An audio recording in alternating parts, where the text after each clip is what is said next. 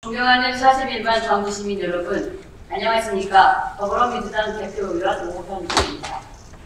먼저 41만 광주 시민의 복리 증진과 광주시 발전을 위해 수고해 주시는 시장님을 비롯한 1600여 공직자 여러분께 감사드립니다. 강세현 시장님께서 취임 1주년을 즈음해 발표한 많은 보도자료를 살펴보면 민선 8기 중점 추진 사업은 시민이 체감, 체감하는 생활 밀착형 정책 등을 펼- 펼쳐 시민 만족도를 높이는 데 초점을 맞추고 있다 보였습니다. 그리고 지난 1년 가장 큰 성과는 2024년 세계 관악 컨퍼런스를 우리 시에 유치한 것이라며 세계 관악 컨퍼런스를 기반으로 우리 시가 세계적인 문화, 음악 도시로 도약할 수 있도록 총력을 다해 준비하고 있다고 했습니다. 세계 관악 컨퍼런스를 유치한 이상 광주 시민 모두 대회가 성공적으로 치러지기를 영원할 것입니다. 그러나 한편으로는 많은 우려와 염려를 안고 있는 것도 사실입니다. 통상적으로 지역에서 개최하는 행사나 축제는 그 지역과의 연계성이 있어야 할 것입니다. 우리 시의 대표적인 선대 축제인 남한산성 문화제, 왕실 도자기 축제와 태촌 토마토 축제처럼 말입니다. 그렇다면 세계 관악 컨퍼런스는 우리 시와 어떤 관계가 있을까요? 무엇을 위해, 누구를 위해 우리 시에 적지 않은 예산을 투입해 개최하는 것일까요? 시간이 갈수록 시민들의 의문은 커져만 갑니다. 지난 7월 1억 7천, 1억 6천만 원의 예산이 투입된 세계 관악 컨퍼런스 D1년 기념 콘서트에 참석한 한 시민의 관악관악에서 서울시 관악과 뭔가 자매결연이라도 맺는 줄 알았다.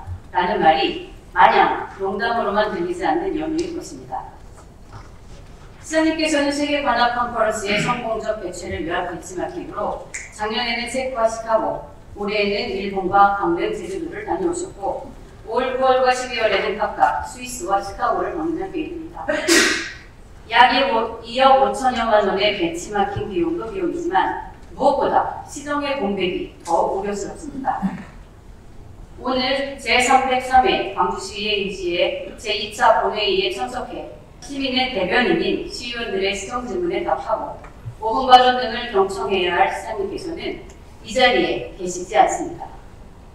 모두시 쯔보시의 초청으로 쯔보시를 방문하시는 것은 100분 이해가 가나 어제 일정인 기업체 방문과 환송 만찬이 오늘 본회의 참석보다 중요했던가에 대해서는 의문입니다.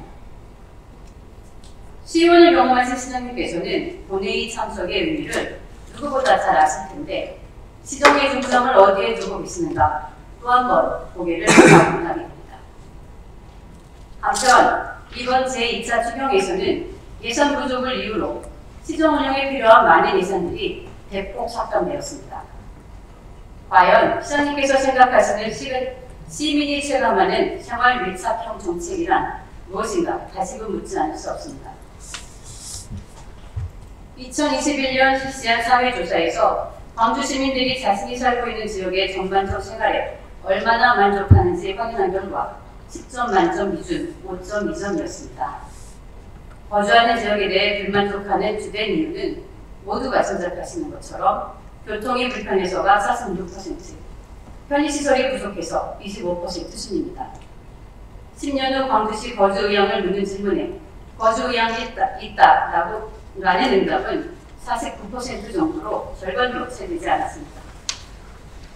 2024년 정부 예산 축소에 따라 지방 재정의 중요한 지방 교부세 등도 대폭 줄어들 것으로 예측되는 지금 광주 시민들이 가장 원하는 교통 문제 해결을 위한 예산 등이 적기에 투입되지 못할까 많은 우려가 있습니다.